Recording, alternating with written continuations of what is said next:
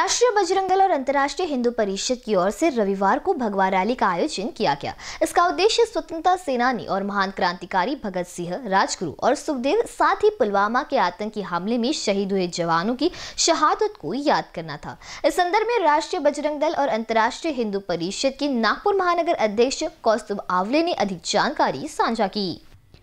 युवाओं में देश के क्रांतिकारियों और शहीदों के प्रति सम्मान जागे।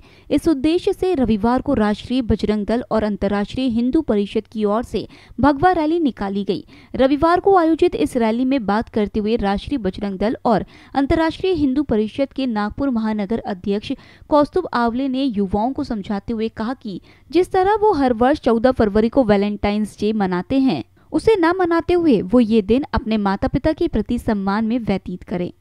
आज 13 फरवरी 2022 रविवार का दिन है।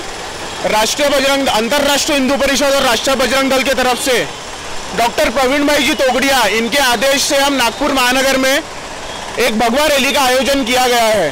रैली का मेन उद्देश्य ये है कि राजगुरु भगत सिंह और सुखदेव जो हमारे वीर वीर क्रांतिकारी थे जिनको 13 फरवरी 1931 को फांसी की शिक्षा सुनाई गई थी, उनके सम्मान में ये रैली है।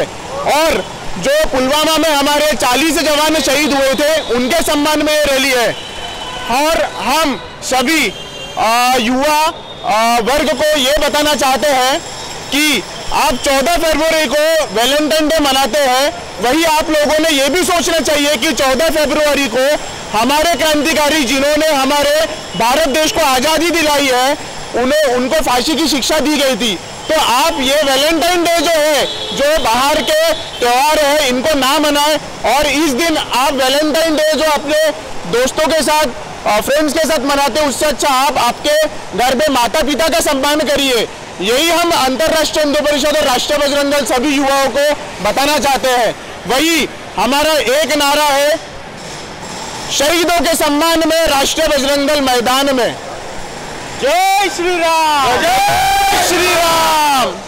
वहीं इस अवसर पर बजरंग दल की ओर से नारा दिया गया कि शहीदों के सम्मान में राष्ट्रीय बजरंग दल मैदान में ऐसा नारा दिया गया। कैमरा पर्सन राजकुमार मोहन के साथ दिशा अटवा बीसीएन न्यूज़ नागपुर।